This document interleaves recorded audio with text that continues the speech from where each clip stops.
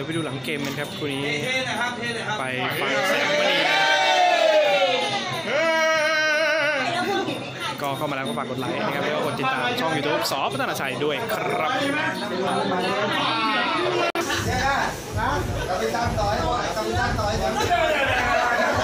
ไอ้ยพ่อบอกพ่อแสงมณีบอกให้กับไปตันต่อน้ำหนักให้นะครับ เดี๋ยวไปคุยกับแสงมณีกันครับ เดี๋ยวยืนนะเถอะผมเป็นไงบ้างวันนี้แจ้งเกิดแล้วก็เหนื่อยครับเหนื่อยโล่งโล่งครับเหนื่อยเพราะหมดยกสองนี่กังวลใจเหมือนกันครับลูกกิจมาเป็นไงบ้างเขามาดีมากเลยเขามาปกติเขามาดีไซน์เดียวนะวันนี้เขามีตีขวาด้วยแล้วคิดว่าจังหวะไหนเป็นเกมเกมเกมทำให้เราชนะคือลูกแล้วเตะมีอาการครับเราเตะเรื่อยๆเรื่อยๆเขามีอาการไปเขายุบไปเองเขาบอกว่าเขามีโอกาสอยากแก้มือแต่ว่าไม่ต้องต่อน้ำหนักก็ได้เราว่าไง ก็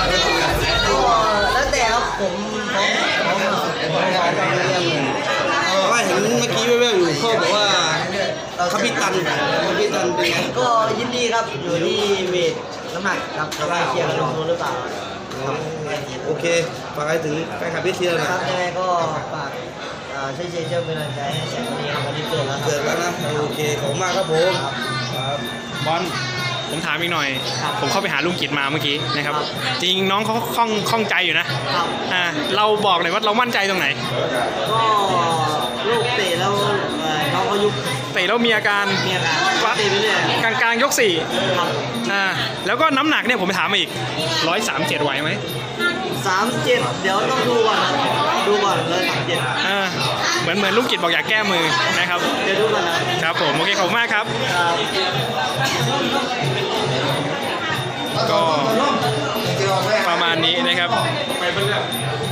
ประมาณนี้ประมาณนี้นะครับเป็นกำลัง ใจให้คนแพ้แล้วก็ยินดีกับคนชนะครับ